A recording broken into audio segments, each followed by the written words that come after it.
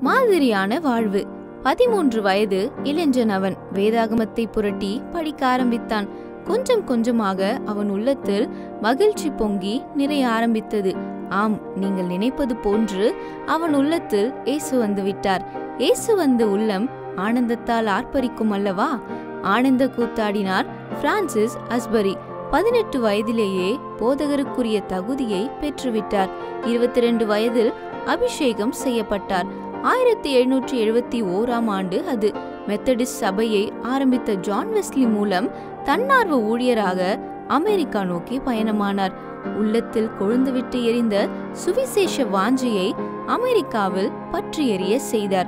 Methodist எபிஸ் global சபையை அங்கு ஆரம்பித்தார். சிறிதும் பெரிதுமான இடங்களில் நின்று சத்தமிட்டு பிரசங்கித்தார். ஆண்டவருக்கென ஆத்துமாக்கள் ஆயிரக்கணக்கில் ஆதாயமாக்கப்பட்டன. ஒரு வருடத்திற்கு ஆறாயிரம் மைல்களுக்கு மேல் சுற்றி திரிந்து முன்னூறு முதல் ஐநூறு பிரசங்கங்கள் செய்தார். ஒவ்வொரு நாளும் ஆத்தும ஆதாய கூட்டங்களை நடத்தினார். இவருடைய தலைமையின் கீழ் இரண்டு லட்சத்தி பதினான்காயிரம் மக்களும் எழுநூறு போதகர்களும் பணியாற்றினர். ஆயிரத்தி எழுநூற்றி எண்பத்தி நான்காம் ஆண்டு அமெரிக்காவில் உள்ள மெத்தடிஸ்ட் சபையை அனைத்திற்கும் தலைவராக ஜான் வெஸ்லியால் நியமிக்கப்பட்டார். அமெரிக்கா முழுமைக்கும் மிகவும் பிரபலமானவராக காணப்பட்டார் அஸ்பரி. பேராயராகவும் பொறுப்பை ஏற்றார். கடின உழைப்பும் அர்ப்பணிப்பும் இவரை உயர்வுக்கு அழைத்துச் சென்றன. மக்களின் சிறந்த மாதிரியாக தன் வாழ்வை அமைத்துக் கொண்டார்.